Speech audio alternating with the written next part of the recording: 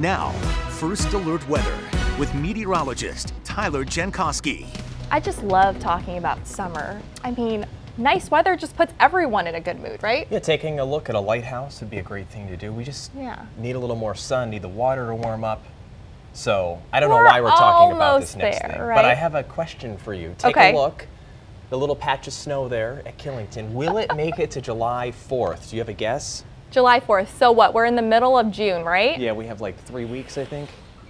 I'm going to say no. I'm going to say no as well. I don't, I don't think there's enough left, and I also know what the next 10 days look like, which we'll see here in just a little bit.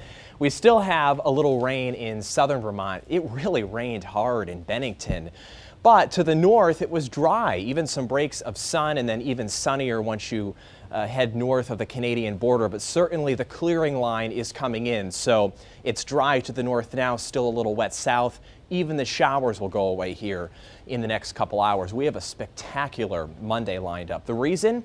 Well, look at all the sun up through North Bay, Canada. So a little late. We knew it would be a little late. It wouldn't make it in for everyone on Father's Day, but certainly still on track for tomorrow.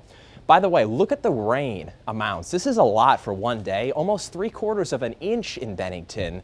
No report from Keene, but I'd assume it's similar. So very far to the south, just a lot of rain for one day. And unfortunately, it was on Father's Day. So it's still in the 60s down there. We manage 71 right now, or as of 6 o'clock in Burlington, 65 in Saranac Lake. Take a look at the headlines. A beautiful Monday on deck. Tuesday is still looking good.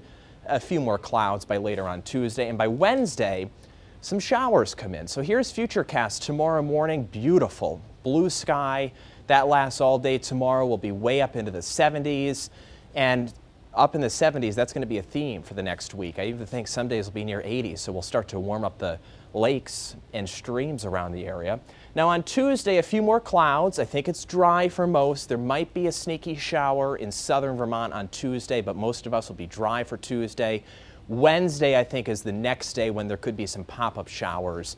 That would be mainly during the daylight hours on Wednesday. So overnight, it's very comfortable. The sky clears out. We'll see the stars by tomorrow morning. And then tomorrow, it's a little warmer. Most of us low to mid 70s across northern New York, just a ton of sunshine. There's also not much wind. Really, for the next couple days, doesn't look like there's much wind. So great to head down near Lake Champlain. 73 the high tomorrow in Stowe.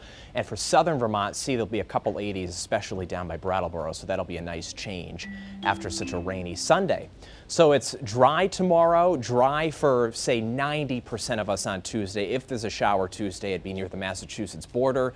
And then there's a few showers on Wednesday, Thursday, and Friday. But we've definitely scaled back the rain on Thursday. It used to look like you know, more of a rainstorm. It doesn't appear that way right now, at least uh, anymore. We'll keep an eye on it. We'll have a few showers there for Thursday and Friday. And then next weekend, it looks like it dries out for Saturday and Sunday with upper 70s there. 77 next Saturday and 78 by Sunday. So I believe that is Jack Cordy approved. I'll take that. I don't like the rain though. What the heck happened to all that sun? Uh, we'll, we'll have enough all mixed right, in. fair enough. Uh